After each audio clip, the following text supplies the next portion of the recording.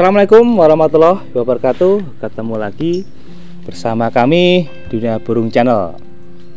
Ini kembali ya saya eh, Menjawablah pertanyaan teman-teman Tentang perawatan dan settingan eh, cendet Tapi ya itu tadi ya eh, Yang pasti karakter cendet itu beda-beda. Tapi yang paling menentukan untuk menemukan settingan yaitu ya nanti bisa memahami karakter. Nah ini yang ditanyakan ini masalah burung getap ya. Kenapa kok burungnya bisa jadi getap? Terus nyetingnya gimana? Perawatannya gimana? Nah ini tak kasih contoh lah. Ini yang aku juga punya burung tak kasih contoh. Namanya baru kelinting. Ini yang salah satu burung getap. Kalau yang dulu-dulu banyak lah lupa namanya. Nah ini baru kelinting ini kan beli. Beli dari bahan tapi burungnya ketap dari temen. Digantang ya sering nibok sering salto. Ternyata tak amati emang burungnya ketap. Kalau saya lihat di rumah burungnya ketap. Nah getap itu kenapa? Sebabnya kok bisa getap nah itu kan nanti itu tergantung dari burungnya.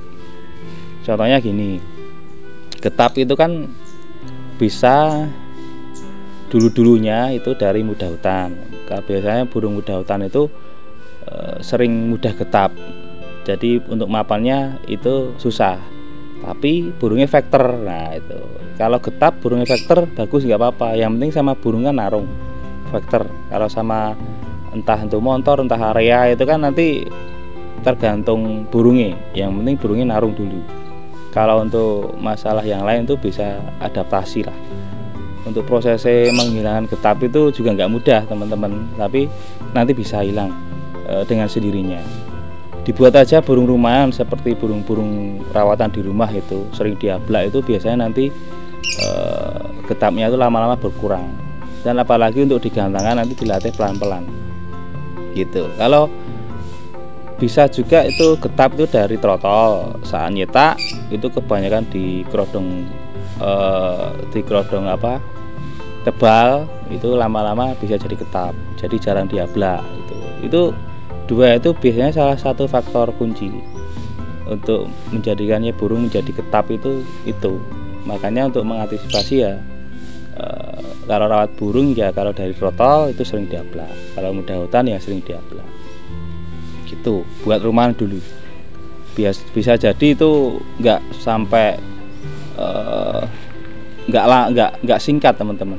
Bisa jadi sampai bertahun-tahun bahkan bisa jadi e, sampai dewasa jadi getap. Kalau nggak diantisipasi secara e, sejak dini kan gitu. Salah satu contoh ya untuk cendetku yang baru kelinting kalau untuk mau saya tahu settingan yang tanya kemarin setting cendet getap itu gimana mas? Nah tapi burungnya vektor. Nah ini pas saya punya ya kalau baru cleaning itu harinya sering aku ablak apalagi kalau pas mau main teman-teman. Jadi kalau pas mau main itu aku ablak.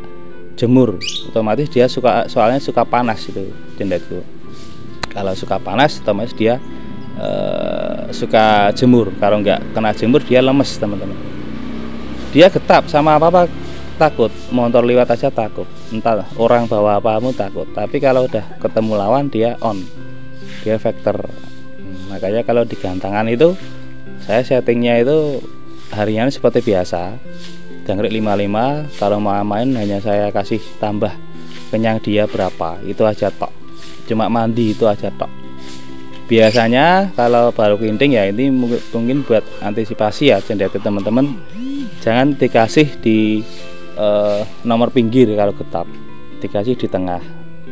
Soalnya kalau punya saya itu dikasih di nomor pinggir itu wah kalau kerja kerja vektor. Tapi kalau udah lihat atau kaget itu nanti apa neboknya berkali-kali. Jadi dia nggak fokus kerja. Tapi kalau udah ditaruh di nomor gantangan tengah dah dia fokus kerja. Nancep eh, ada pelangit gila-gila roll tembak volume dapat show nah gitulah dia kerjanya. Itu sih untuk mengantisipasi ya settingan untuk jenisnya tetap salah satunya itu itu cendet saya sendiri gitu ya apa dari bahan feeling aja tapi burungnya getap tapi burungnya vektor nah, setting pelan-pelan alhamdulillah ketemu. Tapi itu tadi kalau mau sempurna mainnya kalau mau bagus settingnya dikasih nomor gantangan tengah paling tengah. Jadi dia fokus narung sama burung nggak fokus sama lihat sesuatu. Soalnya kalau lihat udah lihat yang lain apa di area itu yang dia merasa takut dia udah ketat nebok pasti. Nah, itu sih uh, penjelasan penjelasan singkat dari saya teman-teman ya. Penyebabnya kok jadi ketap terus rawatan settingan itu yang jadi contoh burung saya sendiri. Pas punya seperti itu. Yang lama-lama dulu juga begitu kalau saya settingnya. Burung ketap itu bisa nanti itu eh, apa untuk menjadikan dia mapan bisa tapi proses. Nggak singkat teman-teman. Kalau burung ketap itu nggak singkat. Kalau ada yang singkat itu berarti burungnya udah cepat mapan. Jadi untuk untuk apa perawatannya biasa aja.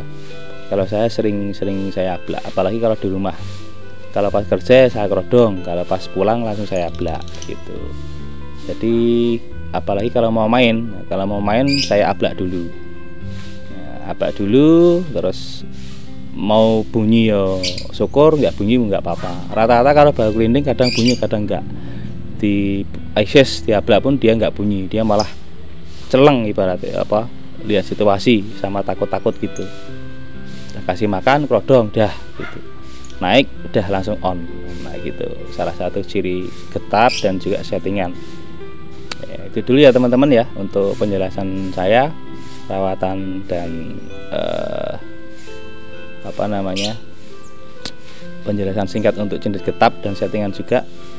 Semoga bermanfaat ya buat yang bertanya semoga paham dan tetap semangat rawat jendet aja walaupun getap tapi faktor itu engko iso Assalamualaikum warahmatullahi wabarakatuh